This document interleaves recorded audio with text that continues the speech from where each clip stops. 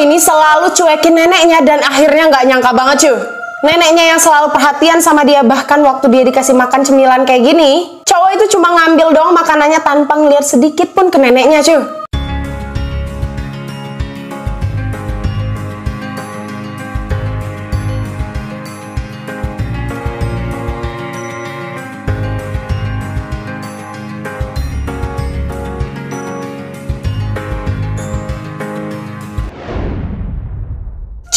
Selalu cuekin neneknya dan akhirnya nggak nyangka banget cuy. Neneknya yang selalu perhatian sama dia bahkan waktu dia dikasih makan cemilan kayak gini, cowok itu cuma ngambil dong makanannya tanpa ngeliat sedikit pun ke neneknya cuy.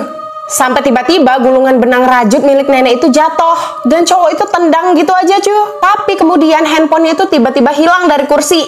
Pas dia dengar suara handphonenya tuh ada kayak di lorong dan dia kaget banget semua bingkai foto di lorong itu berubah jadi foto kucing yang mengerikan kayak gini cuy. Pas dia ngadep ke belakang ada kucing-kucing kecil yang mengerikan itu langsung ngejar dia dan dia tuh benar-benar ketakutan langsung masuk ke dalam lemari. Tapi pas dia ngintip ternyata kucing-kucing kecil itu tahu cuy. Oh ini berusaha untuk kabur tiba-tiba banyak banget kucing-kucing kecil lain yang langsung ngeroyok dia kayak gini cuy bahkan dia itu langsung diikat dan dia nggak bisa ngapa-ngapain lagi. Dia dibawa ke sebuah ruangan dan neneknya itu benar-benar sedih dan nangis ngeliat dia. Akhirnya dia sadar kalau dia sayang banget sama neneknya.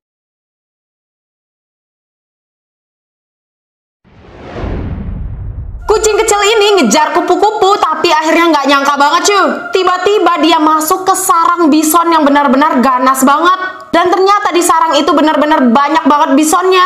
Menyadari itu kucing ini pun langsung melarikan diri. Nah tapi sayangnya bison-bison ini langsung kejar kucing kecil itu cuy. Bahkan sampai ke tengah hutan dan jauh banget masih tetap dikejar. Kucing ini beberapa kali hampir banget didapatin sama bison-bison ini. Nah tapi tiba-tiba salah satu dari bison itu menendang kucing tersebut sampai ke sebuah jembatan tua dan tiba-tiba para bison itu tuh langsung ketakutan. Dan ternyata ada satu makhluk yang benar-benar mengerikan banget dan makhluk ini benar-benar ditakuti sama semua hewan-hewan yang ada di hutan tersebut. Tiba-tiba makhluk itu pun langsung mengeluarkan sebuah kekuatan yang bercahaya yang membuat kucing ini tuh jadi kepo. Ini apa? Dan dia pun menyentuh cahaya tersebut. Tiba-tiba dia masuk ke dalam cahaya itu dan kemudian mulutnya tuh jadi terbuka dan nyawanya itu keluar dari rongga mulutnya, cuy. Kita lanjut ke part 2 ya.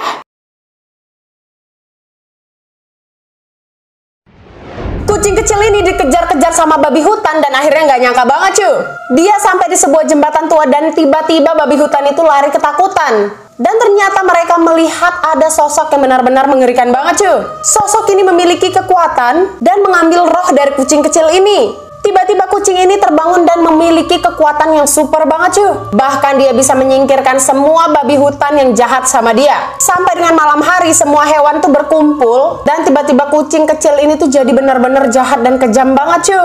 Dia menyingkirkan semua hewan yang ada di hutan, bahkan dia berubah menjadi mengerikan seperti ini. Dia pun kembali lagi ke jembatan tadi dan berjumpa sama sosok penyihir yang udah merubah dia. Dan ternyata penyihir itu juga sama seperti dia dulu cuy. Ketika penyihir itu pergi dan dia yang harus menggantikan posisi penyihir itu di hutan tersebut. Dan dia benar-benar ditakuti sama semua hewan yang ada di hutan itu.